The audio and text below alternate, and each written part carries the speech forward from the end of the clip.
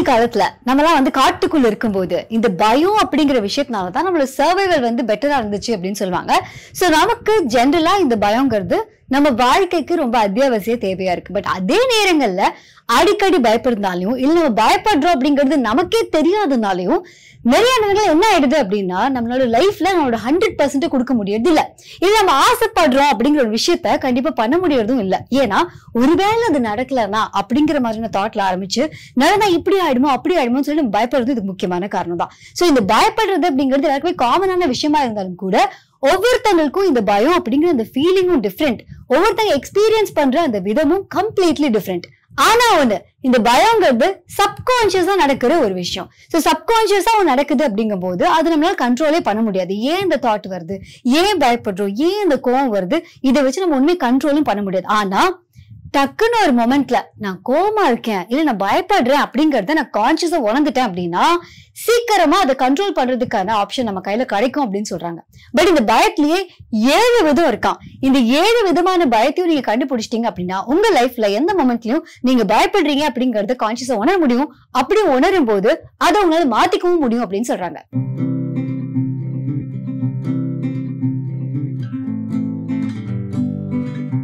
நான் பண்ணா செம்மையா ஒரு வேலையை பண்ணுவேன். ஆனா அதை ஆரம்பிக்கிறதுக்கு தான் பயங்கரமா வந்து டைம் ஆகும்.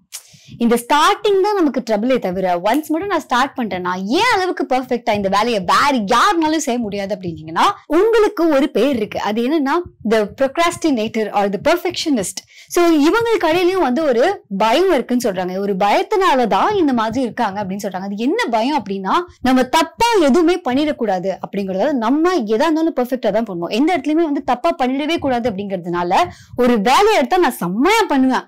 ஆனா செமையா பண்றதுக்கு அதுக்கான நேரம் இருக்கு அதுக்கான கான்சென்ட்ரேஷன் தேவைப்படுது அப்படிங்கறதுனால ஆரம்பிக்கிறதுக்கே நான் யோசிப்பேன். இன்னொன்னு நான் அப்படி ஆரம்பிச்சு அவசர அவசரமா நான் பண்ணி அது ஒருவேளை எங்க தப்பா போச்சு அப்படின்னா என்னால வந்து தாங்கிக்கவே முடியாது அப்படிங்கிறது. சோ பேசிக்கலி இவங்களுக்கு என்ன பயம் அப்படின்னா அந்த ப்ரொக்ராஸ்டினேட்டர் அந்த பெர்ஃபெக்ஷனிஸ்டுக்கு தப்பான சாய்ஸஸ் நம்ம எடுத்துருவோமோ அப்படிங்கறது அவங்களுடைய பயங்கரமான ஒரு பயமா இருக்கும். சோ உங்க லைஃப்ல உங்களுக்கு ஒண்ணு செமையா வரும். ஆனா நீங்க அதை வந்து பண்றதுக்கு பயங்கரமா தயங்குறீங்க அப்படின்னா மேபி இதான் காரணமா இருக்கலாம். இதான் உங்களோட டைப் ஆஃப் ஃபியரா இருக்கலாம் அப்படின்னு சொல்றாங்க. பட் உங்களோட பெஸ்ட் விஷயம் என்ன அப்படின்னா நீங்க எது பண்ணாலும் ஃபுல் டீடைல்டா பக்காவா செம்மையா பண்ணுவீங்களாம். இதெல்லாம் எனக்கு பண்ணணும்னு ஆசை பட் நான் இதை பண்ணி அது சொதப்பி அவங்க என்ன தப்பா நினைச்சிட்டாங்கன்னா இந்த மாதிரி என்னை பத்தி யோசிச்சுட்டாங்களா அப்படின்னு சொல்லிட்டு பெரும்பாலும் மத்தவங்க தன்னை பத்தி என்ன நினைப்பாங்க? மத்தவங்க கிட்ட நம்ம ஒருவேளை தப்பான பேர் எடுத்துருவோமோ?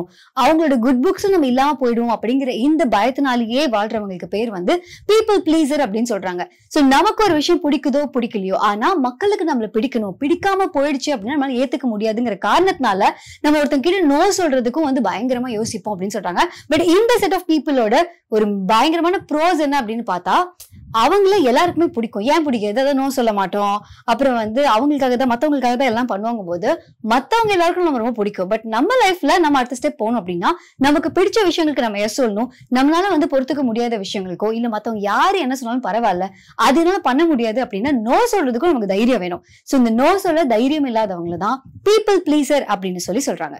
மூணாவது அவங்க சொல்றவங்க பொதுவா சொன்ன பேச்சை கேட்டா நல்லவங்க தானே?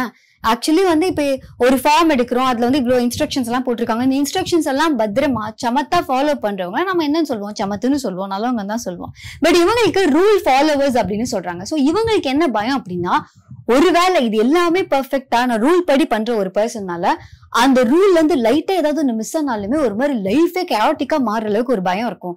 எதா இருந்தாலும் நான் இப்படிதான் பண்ணுவேன் அப்படிங்கிற மாதிரி அடம் பிடிக்கிற பீப்புளா இருப்பாங்க.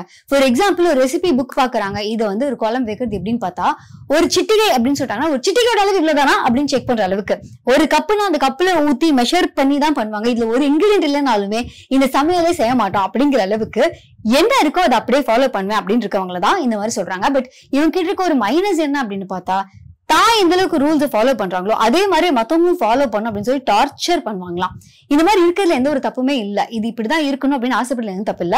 பட் உலகமே அந்த மாதிரி ரூல்ஸ் ஃபாலோ பண்ணி இருக்கிற ஒரு இயக்கம் கிடையாது. நேச்சரே அந்த மாதிரி இல்ல அப்படிங்கும்போது நம்ம நேச்சுரலா இந்த மாதிரி இருக்கணும் ஆசைப்படுறதேங்கிறதே ஒரு பயங்கரமான விஷயம். அது பண்றதுங்கிறது ரொம்ப டிஃபிகல்ட்டான விஷயம். அது நீங்க பண்ணீங்கன்னா சூப்பர் ஆனா இன்னும் பத்து பதினஞ்சு பேருக்கு நீங்க வந்து எக்ஸ்பெக்ட் பண்ணும்போது நிறைய ரிலேஷன்ஷிப்ஸ்க்கு வந்து இது ரொம்ப இடைஞ்சலா இருக்கும் அப்படின்னு சொல்றாங்க. சோ உங்களுக்கு பேசிக்லி என்ன பயம்னா ரூல்ஸ் வந்து யாராவது மதிக்காம போயிடுவாங்களோ நான் என்னைக்காவது மதிக்காம போயிடுவேனோ அப்படிங்கிற ஒரு பயம் இருக்கிறவங்கள தான் இப்படி சொல்றாங்க. நாலாவது கேட்டகரி கொஞ்சம் வினோதமான கேட்டகரி தான். சோ இவங்க என்ன சொல்றாங்க அப்படின்னா ஜென்ரலி ஒரு பார்ட்டிக்கு போலாமா? அங்க போலாமா? இங்க போலாமா கேட்டா "ஏ, அதெல்லாம் ஏன் போவான்? அங்கெல்லாம் செமையா போர் அடிக்கும். அப்படிங்கிற மாதிரி சொல்ற மக்கள். இவங்க ஏன் அப்படின்னா தன்னை யாரும் ரிஜெக்ட் பண்ணிடுவாங்களோ அப்படிங்கிற ஒரு பயத்துல யாரும் நம்மளை ரிஜெக்ட் பண்ணிக்கிறதுக்கு முன்னாடி நம்மளா ஒருத்தங்களை ரிஜெக்ட் பண்ணிடலாம் அப்படிங்கிறதுக்காக இந்த மாதிரி ஆப்பர்ச்சுனிட்டிஸ் வரும்போதெல்லாம் அங்க வந்து பீப்புள் கிட்ட இருந்து ஸ்டே அவே பண்ணிட்டே இருப்பாங்களாம்.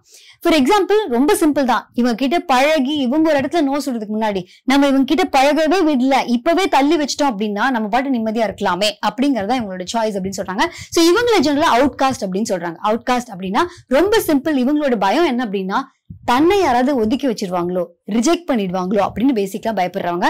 சோ இவங்களை வெளில இருந்து பார்க்கும்போது எப்படிமா இருக்கும்? இவங்க வந்து பீப்புளை யாரையும் மதிக்க மாட்டாங்க அவங்க இமோஷன்ஸ் கண்டுக்க மாட்டாங்க அப்படிங்கிற மாதிரி தான் இருக்கும். ஆனா என்னன்னா இவங்க அவங்களோட இமோஷன்ஸ் ரொம்ப மதிக்கிறாங்க. அவங்க இவங்களை ரிஜெக்ட் பண்ணிடுவாங்கிற பயத்திலேயே இவங்க முன்னாடி அவாய்ட் பண்ணிடுறாங்க அப்படின்னு சொல்றாங்க.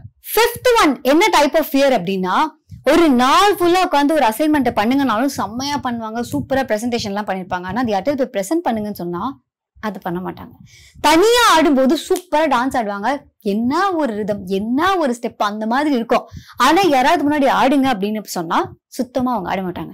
இது என்னன்னா தான் என்னதான் வந்து சூப்பரா பண்ணாலுமே எப்பவுமே நான் வந்து ஒரு இனஃபான ஒரு பர்சன்ல நான் பண்றது எதுவுமே ப்ராப்பரா இல்ல. இன்னும் செம்மையா பண்ணும் இன்னும் செம்மையா பண்ணும். எனக்கு இன்னும் பத்தாது நான் இன்னும் வந்து குட் இல்ல அப்படிங்கிற மாதிரி நினைச்சிட்டு இருக்கேன். இது ஒரு பேசிக் பயத்தோட வாழ்றவங்கள செல்ஃப் டவுட்டர் அப்படின்னு சொல்றாங்க.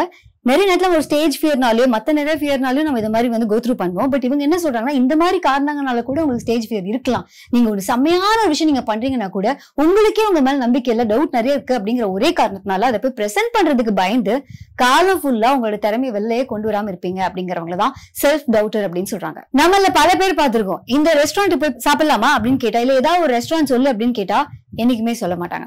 ஏ ஏதாவது ஒரு பாட்டு ப்ளே பண்ண அப்படின்னா நம்ம கிட்ட தான் பிடிச்ச பாட்டு கேட்பாங்க. என்ன ஆர்டர் பண்ணலாம் சாப்பிட்றதுக்குன்னா என்ன வேணாலும் ஆர்டர் பண்ணுங்க அப்படிம்பாங்க. ஆனா எதுக்குமே கரெக்டான பதில் இருக்காது. இவங்கள வந்து எக்ஸ்கியூஸ் மேக்கர் அப்படின்னு சொல்றாங்க. என்ன காரணம் அப்படின்னா இவங்க ஒரு டெசிஷன் எடுக்கிறவங்களுக்கு பின்னாடி வேணா இருப்பாங்களே தவிர இவங்களா ஒரு டெசிஷன் எடுத்து அது சொதப்பிருச்சு அப்படிங்கிற அந்த ஒரு ரெஸ்பான்சிபிலிட்டியை ஃபேஸ் பண்றதுக்கு தைரியம் இல்லாதவங்க தான் இப்படி சொல்றாங்க. நிறைய நேரம் நம்மளும் பார்த்துருப்போம். நமக்கு எல்லா வேலையும் சமயம் வரும். நம்மளே பாஸ் இருக்கலாம். இவ்வளவு அறிவு இருக்கே நம்ம இவ்வளவு முடிவு எடுக்கிறோமே அப்படிலாம் இருக்கும். ஆனா ஒரு டஃப்பான சுச்சுவேஷன் வரும்போது நம்ம அப்படி பின்னாடி போயிடுவோம். நீங்க என்ன சொல்றீங்க? இதுக்கு என்ன பண்ணலாம் நினைக்கிறீங்க அப்படின்னு? ஏன்னா அது ஒருவேளை நம்ம முடிவு எடுத்து தப்பா போயிடுச்சு அப்படின்னா அதுக்கு நம்ம பயங்கர பயம் இருக்கு அப்படிங்கிற ஒரே காரணத்தினாலே கடைசி வரைக்கும் நம்ம லீடரே ஆக முடியாம அந்த ஃபாலோவராவே இருப்போம். ஆனா என்னன்னா பெஸ்ட் ஃபாலோவரா இருப்போம். ஏன் நம்ம எடுக்கிற டெசிஷன்ஸ் நிறைய நேரங்களில் பயங்கர ஹெல்ப்ஃபுல்லா இருக்கும்.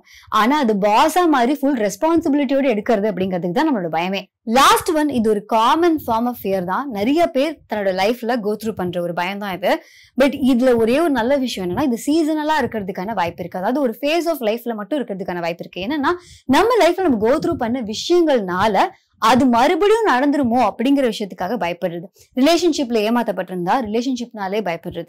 இல்ல நம்ம யாரோ ஒருத்தங்களை இழந்திருந்தோம் அப்படின்னா நம்ம கூட இருக்கவங்கள மிஸ் பண்ணிடுவோமோ இவங்களும் இல்லாம போயிடுவாங்களோ இந்த மாதிரி எதை எடுத்தாலுமே ஒரு நெகட்டிவ் தாட் வந்துட்டே இருக்கிறது. இது வந்து பெசிமிஸ்ட் அப்படின்னு சொல்லுவாங்க. ஜென்ரலி நம்ம லைஃப்ல நம்ம ஒரு பயங்கரமான ஒரு ட்ராமா கோ த்ரூ பண்ணிருக்கோம் இல்ல வந்து ஒரு பிரேக்கப் நடந்திருக்கு. இல்ல வந்து ஒரு பயங்கரமான லாஸ் நடந்திருக்கு. ஃபினான்ஷியலாவோ இல்ல பர்சனலாவோ எந்த மாதிரி லாஸ் நடந்திருந்தாலுமே டக்குன்னு இந்த உலகத்தை நம்புறதுக்கோ நம்ம மேல நமக்கு நம்பிக்கை வர்றதுக்கோ it will take some time so அந்த நேரத்துல நம்ம யோசிக்கிறது எல்லாமே பயங்கர நெகட்டிவா இருக்கும். ஆனா இது ஒரு ஃபேஸ் தான். இந்த பயம்ங்கிறது ரொம்ப காமனான ஒரு பயம். ஆனா ரொம்ப சீசனலான பயம். எல்லாருமே நம்ம லைஃப்ல இது கோ த்ரூ இந்த ஃபேஸ் எக்ஸ்டெண்ட் ஆகாம இருக்கிறது தான் வந்து ரொம்ப அவசியமான விஷயமே தவிர இது இல்லாமலே நம்ம லைஃப் இருக்கணும் அப்படிங்கிற அவசியம் கிடையாது. ஸோ உங்க லைஃப்ல நீங்க இந்த மாதிரி டயத்துல இருக்கலாம். இல்ல நம்ம சுத்தி இருக்க யாரோ ஒருத்தங்க சூப்பரா செம்ம பாசிட்டிவா இருந்த ஒரு பர்சன் திடீர்னு ஒரு பீரியட்ல பெசமிஸ்டாக இருக்கலாம். சோ இந்த மாதிரி இருக்கவங்கள தான் பெசமிஸ்ட் அப்படின்னு சொல்றாங்க. அந்த ஏழு டைப்ஸ் ஆஃப் ஃபியரில் இதுவும் ஒன்று இதில் என்ன நம்ம சொன்ன விஷயத்திலே ஒரு ஒரு ஃபியருக்கும் இன்னொரு ஃபியருக்கும் நிறைய வந்து சிமிலாரிட்டிஸ் இருக்கும். அண்ட் உங்களுக்கு நீங்க இது கேட்கும் இதுலேயும் இதுலயும் கரெக்ட் தான். நான் இப்படியும் இருந்திருக்கேன் நான் இதுவும் இருக்கேன் அப்படின்னா இந்த மாதிரி ரெண்டு மூணு ஃபியர் இருக்கிறது பயங்கர நார்மலான விஷயம் அப்படின்னு சொல்றாங்க. ஆனா என்னன்னா எப்பவுமே ஒரு பர்சனுக்கு இதுல இருக்க ஏதாவது ஒரு பயம் ரொம்ப டாமினண்ட்டாக இருக்கும். அது எது அப்படிங்கறத நீங்க கண்டுபிடிச்சிட்டீங்க அப்படின்னா அந்த பயத்தை நீங்க வந்து சேஞ்ச் பண்றதுக்கும் கண்ட்ரோல் பண்றதுக்கும் உங்ககிட்ட ஒரு சாய்ஸ் இருக்கு அப்படிங்கறது தான் சொல்றாங்க. சோ இதெல்லாம் யார் சொல்றா அப்படின்னு பார்த்தா ருத் சோக்கப் அப்படிங்கிறவங்க தான் டூ இட்ஸ் கேட் அப்படிங்கிற ஒரு புக் எழுதியிருக்காங்க. ஜென்ரலி கிட்டத்தட்ட ஒரு அறுபதாயிரம் டெஸ்ட் எல்லாம் பண்ணி பயங்கர சைக்காலஜிஸ்ட் கூட எல்லாம் ஒர்க் பண்ணி இந்த பயத்தை இவ்வளோ வெரைட்டிஸா அவங்க வந்து பிரிச்சிருக்காங்க. ஏன்னா நிறைய நேரங்கள் நம்ம அவங்க சொல்ற மாதிரி பல விஷயத்த நம்ம பண்ணாம இருக்கிறதுக்கான காரணம் நமக்கு இருக்க ஒரு பயம் தான் அந்த பயம் தான் நம்ம லைஃப்ல நிறைய டிராஜடில இருந்து நம்மளை காப்பாத்துது. நிறைய நல்ல விஷயங்களை அனுபவிக்க விடாமலே நம்ம தடுக்குது. ஸோ இந்த பயத்தை பத்தி நம்ம கான்சியஸா யோசிச்சோம். இதுதான் என் பயம் அப்படிங்கிறது தெரிஞ்சிச்சு அப்படின்னா அதை ஃபேஸ் பண்ணதுக்கும் நம்ம ரெடியா இருப்போம் அப்படிங்கறத அவங்க சொல்றாங்க.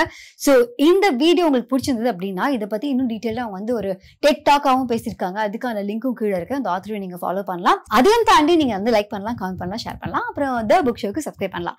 RG Ananthi again Facebook Instagram Twitter இந்த மாதிரி இடத்துல நீங்க நீங்க காண்டாக்ட் பண்ணலாம். அதே மாதிரி த புக் ஷோவையும் ஃபேஸ்புக் இன்ஸ்டாகிராம் ட்விட்டர் இந்த மாதிரி நீங்க நிறைய விஷயம் வந்து ஷேர் பண்ணலாம். முக்கியமா இதை பெருசாக ஷேர் பண்ண நினைச்சீங்கன்னா RG Ananthi the book show dot in அப்படின்னு மெயில் நீங்க அனுப்பிச்சிக்கலாம் பயப்பட வேணாம். நான் எதுவும் கடிக்க மாட்டேன். எதுவும் திட்ட மாட்டேன். தைரியமா நீங்க வந்து உங்க மெயில் அனுப்பி வைக்கலாம். அப்புறமா நான் பேசுற விஷயங்களை நீங்க பார்க்க வேணாம். கேட்டா மட்டும் போதும் அப்படின்னா பாட்காஸ்ட்கான லிங்க் கீழே இருக்கு. அதை கிளிக் பண்ணி நீங்க அப்படியே கேட்டுக்கிட்டே இருக்கலாம். நம்ம இழைச்சிருந்தாலும் குண்டனாலும் நமக்கு ஏற்ற ஒரு ட்ரெஸ் இருக்குல்ல அதே மாதிரி நம்ம லைஃப்ல வந்து எந்த ஷேப்ல எந்த மாதிரியான ஒரு ஃபேஸ்ல இருந்தாலும் சரி நமக்கு ஏற்ற ஒரு புக் வந்து எங்கேயாவது ஒளிஞ்சிட்டு இருக்கும். அவனை தேடி கண்டுபிடிக்கிறதுக்கு குட் ரீச் அப்படிங்கிறது ஒரு பயங்கரமான ஒரு பிளாட்ஃபார்ம் ஸோ குட் ரீச்ல நானும் இருக்கேன். இந்த புக்லாம் படிச்சுட்டேன் படிக்கணும்னு ஆசைப்படுறேன் படிச்சு முடிச்சிட்டேன். இந்த மாதிரியான விஷயங்கள்லாம் ஷேர் பண்ணிருப்பேன். அங்கேயும் நீங்க வந்து என்ன ஃபாலோ பண்ணலாம். அதுக்கான லிங்க்கும் கீழே இருக்கு. அவ்வளவுதான். பாய்